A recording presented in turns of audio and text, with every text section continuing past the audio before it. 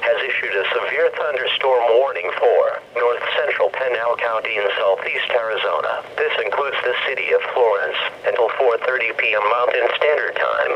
At 4:03 p.m. Mountain Standard Time, National Weather Service meteorologists detected a severe thunderstorm capable of producing damaging winds in excess of 60 miles per hour.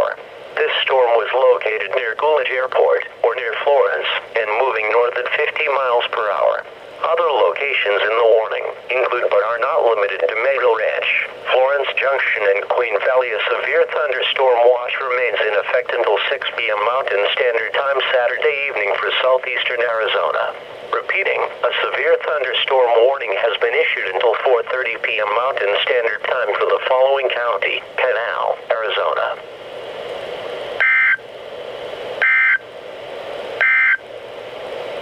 You are listening to NOAA Weather Radio.